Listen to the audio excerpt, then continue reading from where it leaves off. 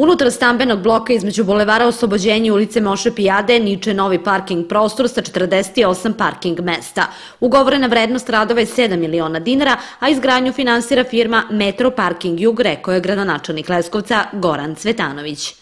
Na ovom prostoru u strogom centru grada su nekoliko navrata čišćenje deponije, bile su divlje deponije, velike, desetak divljih garaža je bilo na ovom prostoru, morali smo da srušimo, a nakon toga smo ono što je najbitnije rešavali imunijsko-pravne odnose.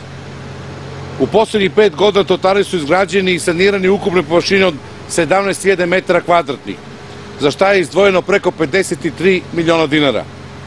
Urađeno je popočavanje dela bulevara oslobođenja u vrednosti od 12,5 miliona dinara. Rekonstruisan plato ispred apoteke Sutjeske, urađene pešačke površine ulici Kosta Stamenkovića, Leskočih odreda, 9 Jugovića, 28. marta, Stojana Ljubića, Pane Đukića, rekonstruisali trotare u Radičkoj ulici, u Vlajkovoj ulici, ulici Žomravskih brigada, ulici Strahića Bana, gde smo takođe izgradili 49 novih parking prostora. Saniran je i deo trotoara u Svetoilijskoj ulici, izgrađeni su trotoari i biciklistička staza u dužini od skoro 2 km prema Sinkovcu. Na taj način smo pokazali da posle pet decenija devastiranog prostora, centar grada koji je bio pun i efektivnog otpada, u kratkom vremenskom periodu može da se srede i trotoari i da se divlja gradnja neutrališe. Na ovaj način građani će dobiti jedan dobar, lep ambijent, zaštićen ambijent sa najnovim led osvetljenjem, sa prostorom koji je adekvatan i za pešake i za sve korisnike ovog prostora. Naredne godine sredit će se prostor gde su bila preduzeća Dom i Toplana.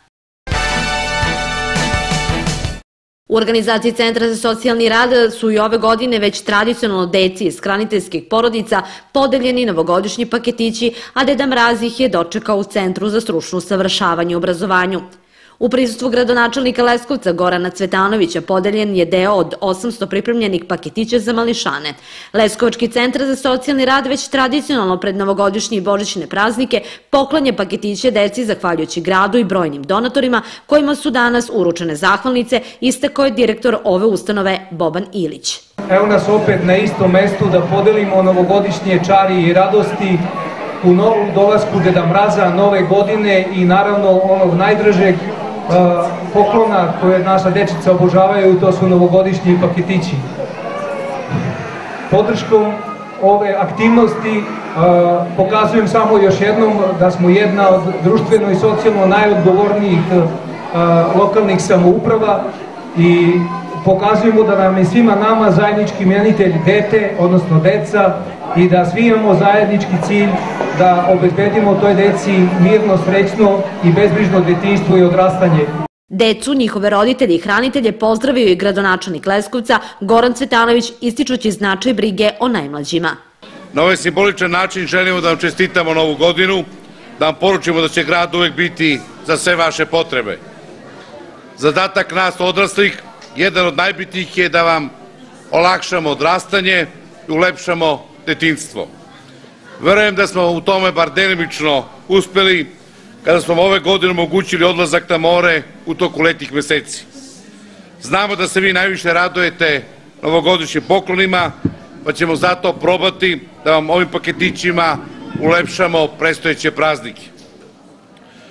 Iskoristio bih priliku da pohvalim Centar za socijalni rad koji ove godine uz pomoć lokalne samuprave, veliki broj donatora za decu iz hraniteljskih i materno ugroženih porodica pripremili su 800 novogodišnjih paketića. Ovo je samo jedan od načina da pokažemo da smo društvo koje je odgovorna sredina i koje se brine o najmeđoj našoj populaciji. Na prigodnoj svečanosti u Centru za stručno usavršavanje i obrazovanju nastupio je i vokalno-instrumentalni sastav Neven. U prostorijama Gradskog odbora Srpske napredne stranke održana akcija dobrovoljnog davanja krvi u saradnji sa opštom bolnicom Leskovac. Dobrovoljno davalaštvo krvi predstavlja humani čin koji nekome može spasiti život. Ovo nije samo rečenica koja se koristi u svakodnevnom razgovoru, već i velika istina koje trebamo da budemo svesni. Ne smemo da dozvolimo da u našoj bolnici zalihe krvi dođu do minimuma, zbog toga što krv nije moguće veštački dobiti, već je jedini izvor tog leka čovek davaoc krvi, rekla je predsednica Saveta za zdravstvo Gradskog odbora Srpske napredne stranke Leskovac Mina Cvetanović. Stoga je podizanje svesti o dobrovoljnom davanju krvi od izuzetnog značaja. Krv treba da čeka pacijenta, a ne pacijent krv. Savez za zdravstvo Srpske napredne stranke ovu akciju organizovao nekoliko puta i svakako ćemo se truditi da ih bude još. Do ovog trenutka odziv je bio odličan, već je bilo 56 davalaca krvi, a tek smo na početku. Iskoristit ću ovu priliku i da zamolim naše predstavnike medija da koriste što više prilika i apeluju na naše sugrađane da dobrovoljno daju krv. Jer život je krv, je život, stoga budite humani i poklonite život nekome. U ime opšte bolnice Leskovac i službe za transfuziju krvi članovima Srpske napredne stranke zahvalila se PR Maja Danilović. Ova akcija će nam mnogo značiti u toku novogodišnjih i božićnih praznika, kada je odaziv davalaca smanjen u našoj službi, što zbog praznika, što zbog niskih temperatura. Ono što jeste važno takođe je i da e, u našoj službi trenutno nedostaje nulta negativna e, krvna grupa, nisu rezerve ugrožene, ali su smanjene, tako da se nadam da ćemo i sa ovom akcijom nadomestiti te rezerve. E, želim da se zahvalim e, predsednici Saveta za zdravstvo e, Srpske napredne stranke Mini Cvetanović kao i članovima takođe ovog saveta na jednoj ovakvoj organizaciji i da kažem da samo zdravstvo i samim ovim činom organizacije ove akcije dokazali su svoju plemnitost i humanost. Naredna akcija dobrovoljnog davanja krvi je sutra u mesnoj zajednici Tulovo, inače ovo je tradicionalna akcija već 20 godina. U ovoj godini bilo je 48 akcija dobrovoljnog davanja krvi u kojima je prikupljeno preko 630 jedinica krvi. Udruženje boraca Sabor iz Bojnika doniralo je danas namernice, sredstva za higijenu i lekove učesnicima ratova sa teritorije opštine Bojnik u okviru projekta za bolje šanse. Cilj ovog projekta, kako je kazao predsednik ovog udruženja u Bojniku Predrag Jovanović, postizanje unapređenja položaja učesnika ratova kao i pružanje pomoći učesnicima ratova. Mi bih hteli naše udruženje da vam pomogne malo u namernicama i medicinskim sredstvima koliko možemo, toliko s naše strane.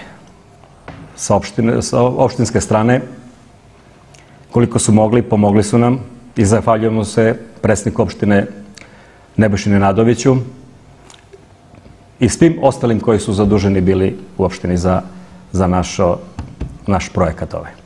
Današnjem skupu u Bojniku prisustvovao i član Republičkog udruženja boraca Sabor i predsednik udruženja boraca iz Lebana Dragan Miljković koji je prisutne upoznao bliže s radom ovog udruženja.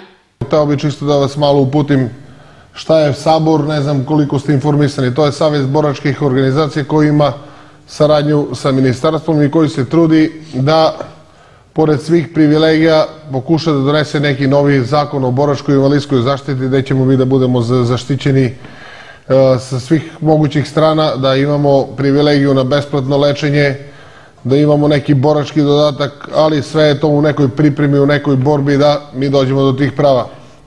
Ovo je jedna, jedan u nizu jedna u nizu akcija koje sprovodimo, mi smo isto ovakvu akciju sproveli u Lebanu, e, eto, Peđa je nastavio u Bojniku, trudimo se da pomognemo koliko je, koliko smo u mogućnosti, eto, Trenutno je vaša opština Bojnik pomogla, pomogla direktno vama, manje više udruženju, direktno vama, jer svi znamo da je situacija u Bojniku, u Lebonu, na jugu Srbije katastrofa što se tiče zapošljavanja i svega drugog.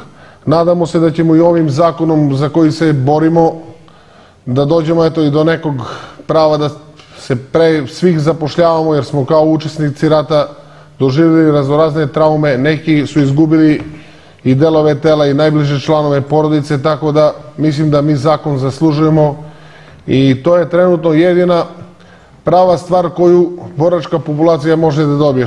U ime boraca zahvalio se Zoran Ljubenović iz Kacebaća. Ipak neko se je setio za ove ljude. Nije bitno šta je, kako je, ali neko se je setio da smo bili negde i uradili nešto za ovu državu, za našu Srbiju i možda ostavili svoja deca i mala i velika i onako i svi izdržali smo, tu smo i da budemo živi i zdravi svi i neka bude sve najbolje, ne znam drugo što da kažem, ali ipak se neko setio nama nešto da da. Vrednost projekta koji je trajao šest meseci je 250.000 dinara. U okviru projekta posjećeno je 16 ratnih veterana, nabavljeno je 30 vrsta lekova i održane su javne tribine. U dvorištu Šop Đokićeve kuće za par dana počeće sa radom klizalište koje predstavlja posebnu radost za decu tokom zimskog raspusta. Na klizalištu na otvorenom etnom kompleksu Šop Đokićeve kuće se iz godinu godinu, evo već deceniju, veliki broj dece i onih starijih oprobao na klizaljkama tako da se svi rado vraćaju. Svima koji su zainteresovani da stanu na klizaljke kao i ranije na raspolaganju će biti instruktori, volonteri ističu u turističkoj organizaciji Leskovac jer je bezbednost najbitnija. U dvorištu e, Šop Đokićeve kuće trenutno postavlja montažno klizalište na oko 300 kvadrata. Mi očekujemo da ono bude za par dana na raspolaganju svim našim sugrađanima, što naravno zavisi od vremenskih uslova. Inače, ovo je naša deseta sezona kako se trudimo da Leskovčanima u svom gradu omogućimo da zaista napravi na potpun način uživaju u e, zimskim čarolijama i naravno u ovom popularnom zimskom sportu. Neće biti stare cene, planirano je da ove e, godine budu pristupačnije i jeftinije, tako da će ulaznica sa iznajmljenim klizaljkama biti 200 dinara, a sa sobstvenim 150. A prethodnih godina su bile 230 i 170.